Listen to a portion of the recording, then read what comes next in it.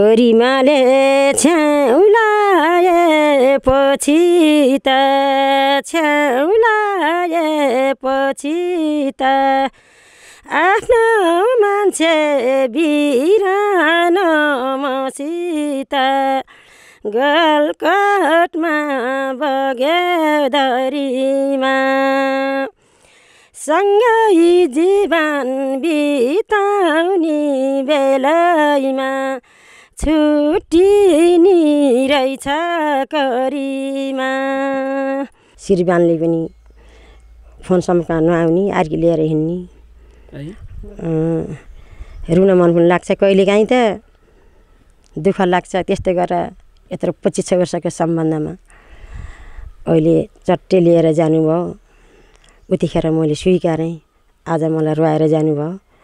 हे भन्थ्यौ मलाई तिमी बिना बाँधिन तिमी बिना बाँधिन गयौ अहिले अरिकैलाई साधिन भिराइमा टुनी पलायो दुई दिनको निठुरे मायाले जिन्दगीमा रुनी बनायो अब त सँगै जुग जाला भनेर सँगै दुःख सुखमा साथ दिउँला एक अर्कालाई भनेर अब बिहा गरियो। अहिले यो अवस्थामा आदि उमेरमा आएर ओल्लो घाटमा पल्लोतिर गरिदिनु भयो मलाई रुवाएर जानुभयो। अब के गर्ने?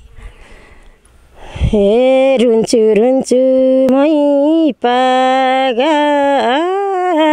हुन्छु दुई आँखाको आँसुले म धुन्छु लौरी तितेको थाहा पाइन दाइ मैले जुनी बितेको।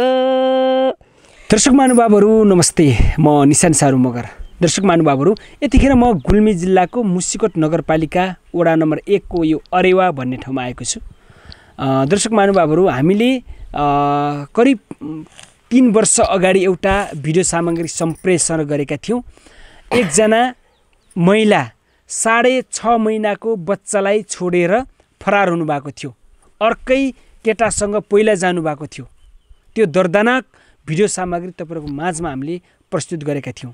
र त्यही बेला जब घरमा बुहारी साढे छ महिनाको बच्चा छोडेर अर्कैसँग पहिला गएकी थिइन् त्यही ठिक त्यही समयमा त्यो बुहारीको ससुराले उहाँ दिदीको श्रीमानले अर्की श्रीमती ल्याउनु भएको थियो। र हामीले त्यतिखेर उहाँसँग सोद्धाखेरि चाहिँ बुहारीले छोडेर गइसकेपछि बच्चाको स्याहार सुसार गर्नको लागि बिहे गरेको भनेर उहाँले चाहिँ भन्नुभएको थियो। तर आज उहाँले दुई महिना पनि नबसिकन कान्छी श्रीमती लिएर कान्छी श्रीमतीसँगै जानुभएको छ। अहिले उहाँ दिदीसँग श्रीमान हुनुहुन्न। हामीले साढे तिन वर्ष अगाडि भिडियो बनाउँदाखेरि बच्चा सानै थिइन् तर आज उहाँहरूलाई भेट्न आउँदाखेरि बच्चा यति ठुली भइसकी छिन् चार वर्षको बच्चा अहिले बाल शिक्षामा पढ्दैछन् र आज हामी यही बाटो हिँड्दै गर्दाखेरि दिदी र बच्चाको अवस्था के छ कसरी बस्नु भएको छ भनेर उहाँलाई भेट्न आएका थियौँ र उहाँसँग भेट्दाखेरि हामीले केही सुख दुःखका कुराकानीहरू गरेका छौँ। यो पुरा भिडियो हेरेर तपाईँलाई कस्तो लाग्छ र आफ्नो प्रतिक्रियाहरू तलको कमेन्ट बक्समा कमेन्ट गरिदिनु होला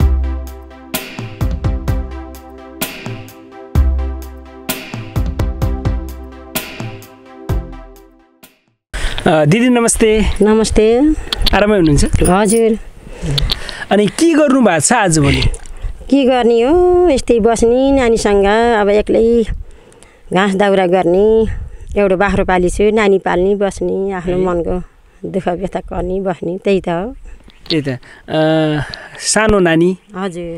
यो बच्चा त तपाईँको नातिनी होइन? हजुर हजुर। यो बच्चा त सानैदेखि तपाईँले नै पालेर बस्नु भएको छ छ महिनादेखि होइन? हजुर सानी सा साढे छ महिनादेखि मैले पालेको नानीलाई यत्रो बनाएँ अहिले। त्यही त त्यो बच्चाको आमाले बच्चालाई छोडेर गएपछि सम्पर्कमा आउनु भएन। नाइ आएनन् कोही आएन सम्पर्कै आउनु भएन। भनेपछि अहिले तपाईँले नै पालेर बस्नु भएको छ यति ठुलो बनाइसक्नु भयो हजुर यत्रो साढे छ महिना यत्रो बनाएँ म आफै चाहिँ हुर्काएँ नानीलाई ठिकै छ। त्यही त तपाईँले त गीत पनि गाउनुहुन्छ अरे भन्ने सुनेको छु।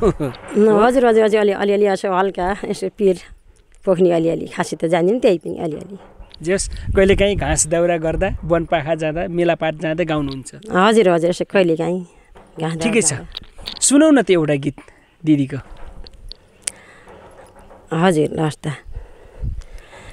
हे कति मलाई पिरा परिराख संसारैमा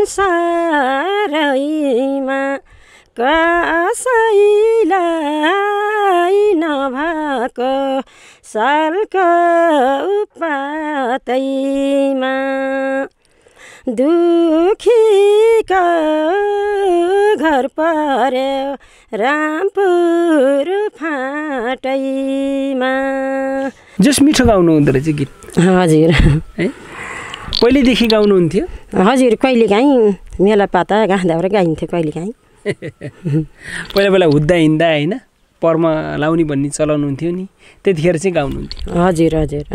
पर्म लाउने गीत गाउने रमाइलो गर्ने गरिन्थ्यो पहिला पहिला। अनि अरू कस्तो कस्तो गीतहरू गाउनुहुन्छ तपाईँले? अरू पुरानो भाकाहरू त्यही अब आउँछ अरू पनि यसो भलकोटमा ए के अरे गलकोटमा बगोदर भन्ने पनि आउँछ। ल सुनौ न त गलकोटमा बग्यो दरीमा भन्ने। छोरीमाले छेउलाएपछि त छेउलाएपछि त आफ्नो मान्छे बिरान मसित गलकटमा बग्यो दरीमा। सँगै जीवन बिताउने बेलैमा छुट्टिनी रहेछ करीमा। यति नै हो। हजुर यति नै। त्यही त यो गीत त ठ्याक्कै तपाईँकै जीवनसँग मेल खाने टाइपको गीत रहेछ।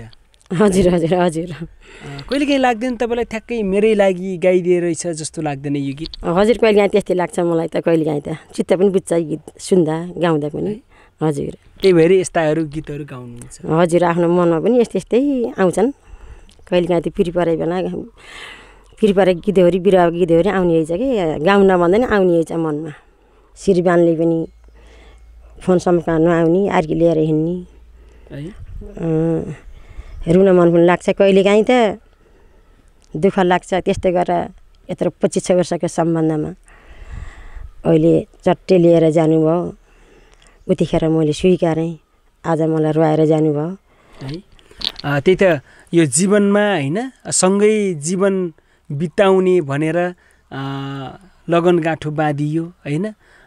सबै कुराहरू त्यागेर उहाँसँग आइयो र आज सँगै जीवन कटाउँछु भन्ने मान्छेले नै बिच बाटोमा छोडेर धोका दिएर जाँदा चाहिँ एकदमै दुःख लाग्छ र यो गीत पनि त्यस्तै त्यस्तै भावको गीत आफैलाई गाइदिए जस्तो लाग्छ। हजुर हजुर। दुःख लाग्छ? हजुर एकदमै दुःख लाग्छ मलाई। है? हजुर। कस्तो कस्तो भाकाहरू गाउनुहुन्छ? कस्तो कस्तो गीतहरू सुन्नुहुन्छ तपाईँ?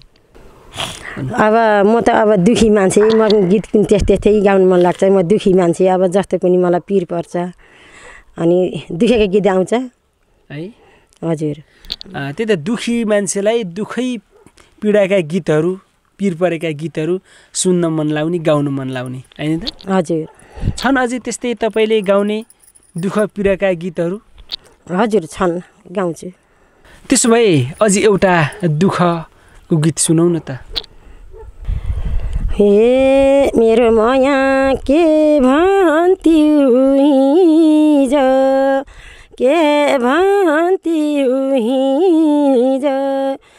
रुँदा रुँदै सिराबाट पाउ बिजो बिरैमा टुनी पलायो।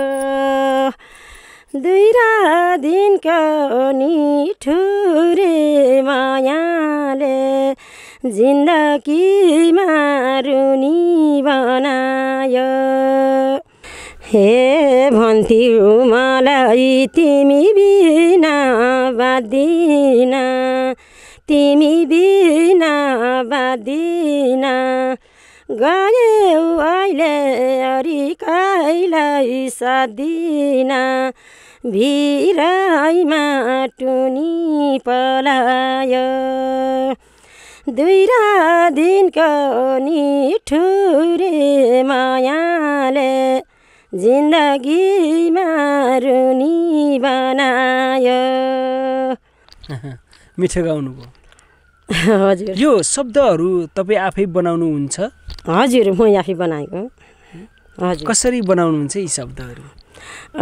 पिर परेको बेलामा अब गुनगुनाउँदाखेरि गएर गएर पिर परेका गीतहरू आफै मनमा उब्जिन्छन्। आफै आउँछन्। हजुर हजुर।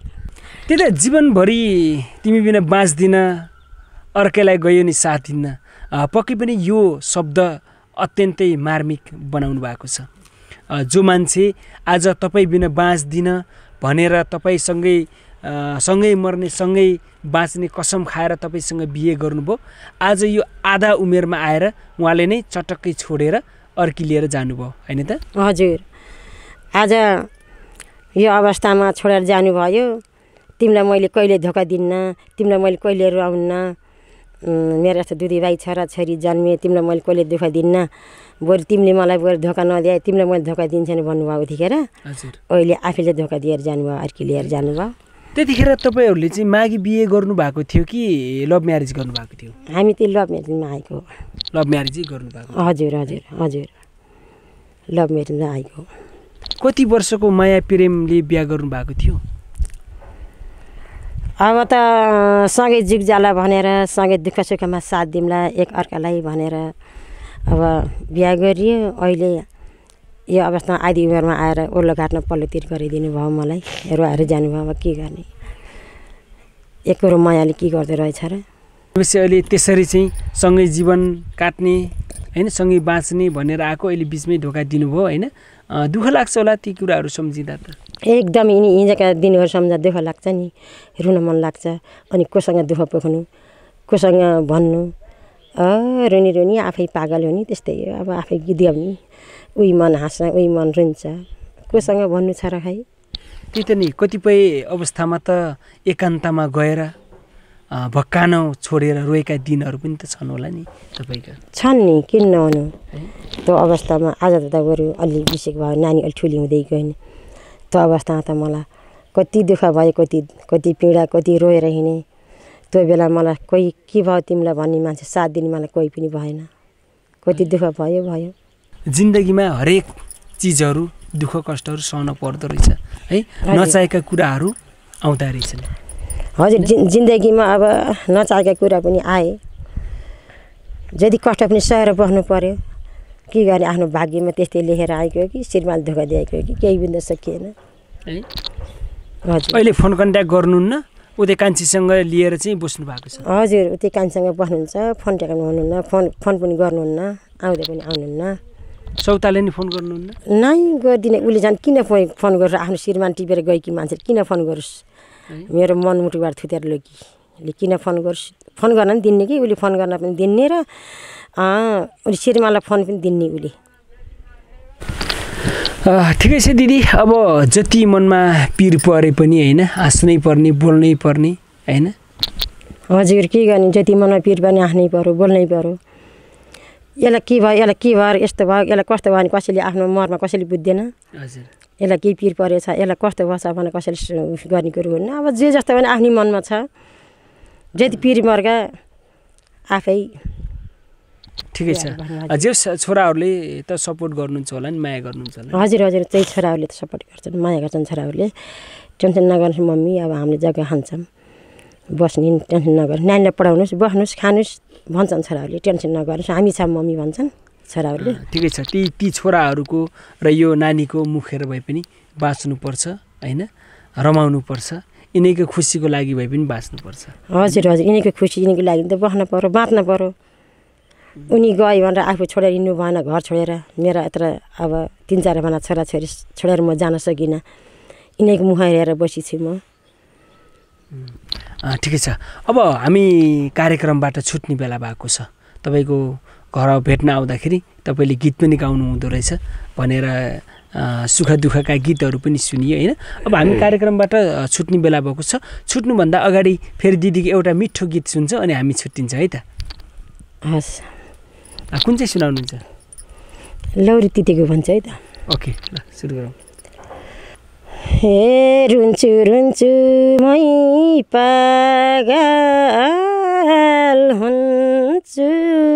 दुई आँखाको आँसुले म धुन्छु लौरी तितेको थाहा